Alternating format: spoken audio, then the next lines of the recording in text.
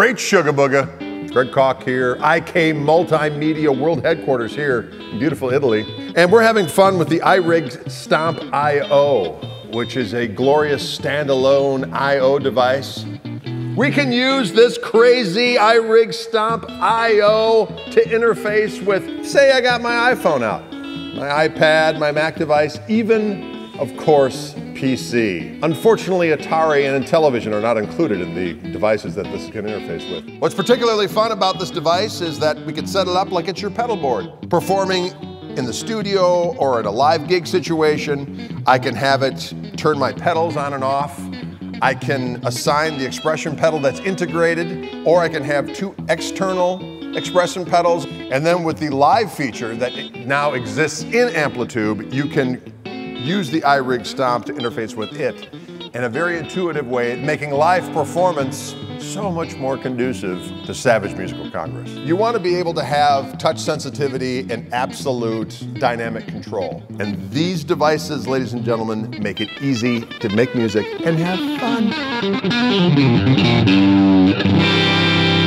So what I did with the iRig Stomp I.O., I.O. is I was able to set four presets as far as my pedals were concerned. So it's like this is my pedal board, this is my amp, everything's right in front of me. Came in, plugged in, and was able to stomp, turn things on and off, mess with the parameters as I needed to beforehand, and was ready to go. Right now I'm in stomp mode. If I go back over here and go into preset mode, look at this first one, 53 Bassman. I could read that from space. Well, that might be a stretch. A 53 Bassman, like this amplifier right here, you're going to see that there are only two controls. There's a volume and there's a tone. And I have both of them maxed out, which is great because of those old Tweed amps, when you turn them all the way up, they would, the, they would like beg for mercy and sound like they were about to explode, but you turn the volume down on the guitar, it's all nice and clean little bit of frosting, and then you turn it up.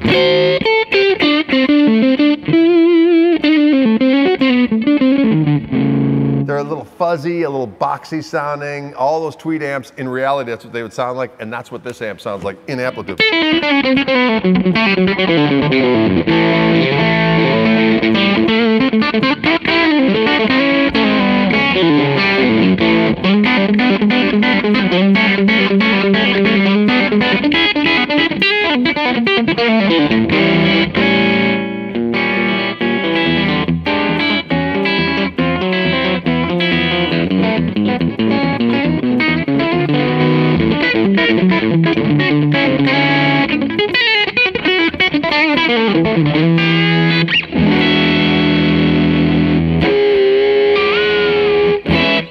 Plexi Marshall, this little bad boy right behind me. Uh, glorious old amps, of course. If you had them cranked in reality, you'd be um, an enemy to your neighbors.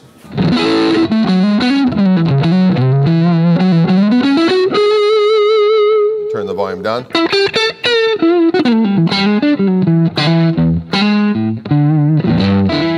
Also, the, the jumping channels things that worked on the old Tweed amps also worked on Marshall amps. So I'm plugged into both channels, high treble and normal. I've got them both almost on 10 to give it a...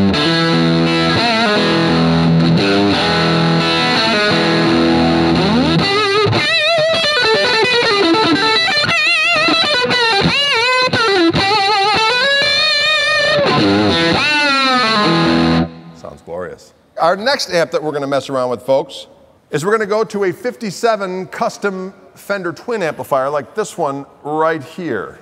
Now there are high powered twins and low powered twins. So let's check it out. I'm gonna use my preset right here.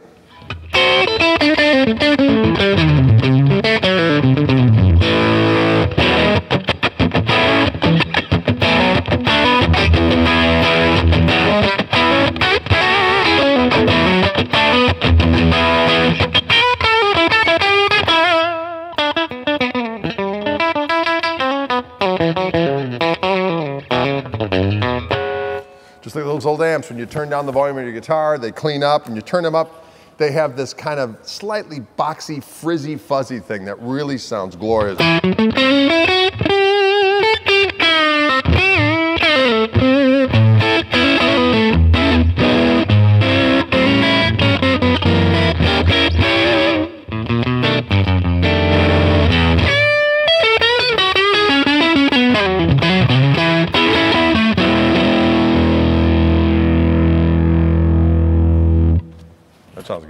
Uh, this orange amp right here in the digital realm is the same orange amp as right over here, the OR50 40th anniversary. Glorious English rock and roll sound.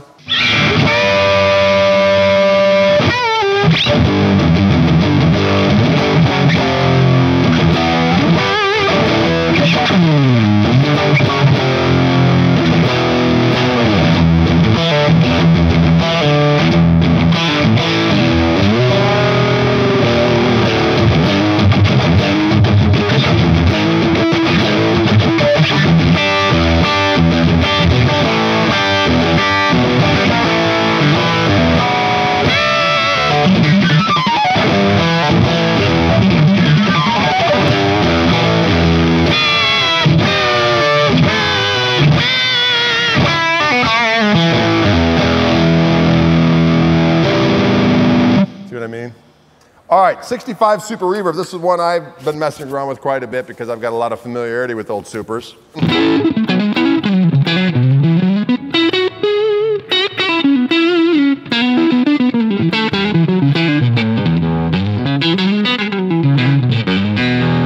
I'm on the Super Reverb. I want to turn my Univibe on and off. I want to add a little heat. I want to turn the heat off. I want to put a little delay on. I want to put the delay and the Univibe. I want to control my Univibe. All well and good. Maybe I want to engage in a little spirited wah wah activity. I can turn this thing on.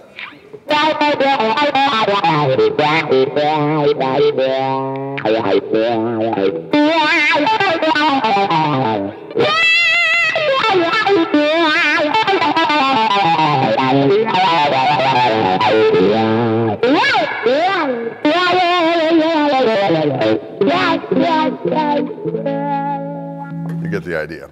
All right, now I'm going to go to my preset six. That head up there, ladies and gentlemen, which is the lead channel on a Boogie Mark IV, which is a nice crunchy distortion sound. It's different from the Orange or the Marshall. It's got a harder bottom to it, more of a direct distortion high gain.